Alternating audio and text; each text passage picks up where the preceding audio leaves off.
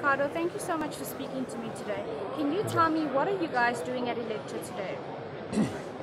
Well, we've been in Africa for 99 years, so this is home for us. We're an international company, but we've always had a presence here.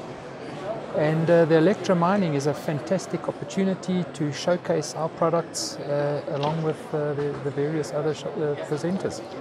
And what are some of your products on display today? Well, this behind us is uh, one of our newer developments, uh, developed in Germany. It's a sizer.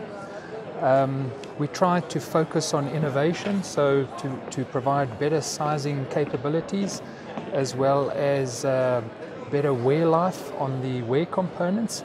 And we have a strong aftermarket presence where we're able to support our pro products through the life cycle, and uh, that provides value to our clients. So much.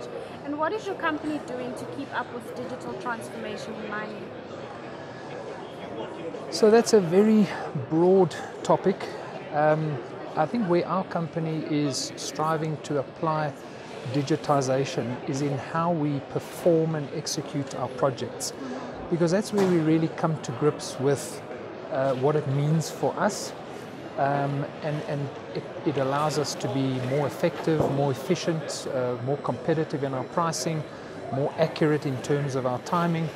And I think once we've got that uh, well under wraps, I think we will be able to look at what digitization means in terms of our clients. Thank you. And lastly, I wanted to know what can we expect from TAKRAF in 2019? So as I said, we strongly focused on innovation. Innovation is something that keeps us competitive.